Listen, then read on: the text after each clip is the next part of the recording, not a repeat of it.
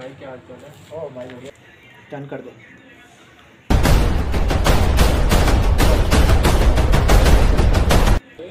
अरे यार मैं किसी का वेट कर रहा हूँ अभी तक आया नहीं यार। बंदा आपको फ़ोन भी कर रहा हूँ फ़ोन नहीं उठा रहा बंदा यार ये।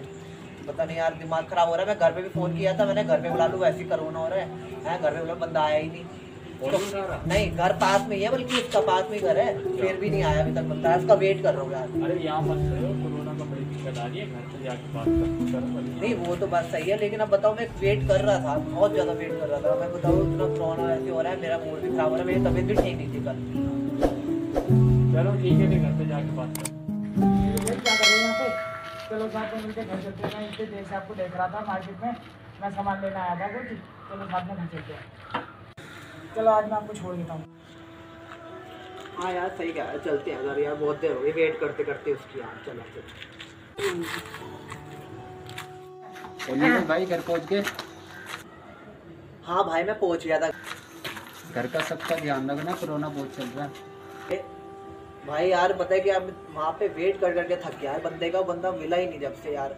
गली में एक बंदा है ना हार्दिक आया था वो मेरे से कह रहा था भैया चलो बहुत देर से आप मार्केट में खड़े हो। हाँ मैं उसके साथ ही चला गया था घर पे। हाँ। हाँ ठीक है ठीक है कोई दिक्कत नहीं है वो मैं ध्यान रखूँगा कोई दिक्कत नहीं। ओके ठीक है। अरे विक्की भाई मुझे नीरज भाई मार्केट में मिले थे मैंने उन्हें उनकी गली के बाहर छोड़ा था। आपकी उनसे कोई बात हुई है? हाँ मेरी बात हुई थी उससे फ़ोन में। बोल के वो घर पे? चलो ठीक है मैं अपने घर जाता हूँ। आप अपना और अपने घर वालों का ध्यान रखना। चलो चल घर चलते हैं। आप तो ये क्या है ये no, no, no, no. चल पैन भी उल्टा ही रखा है नीचे भी उल्टी ही है अरे क्या है क्या हो गया ये भी देखो ये निकल भी अरे पेशाब कर रखा है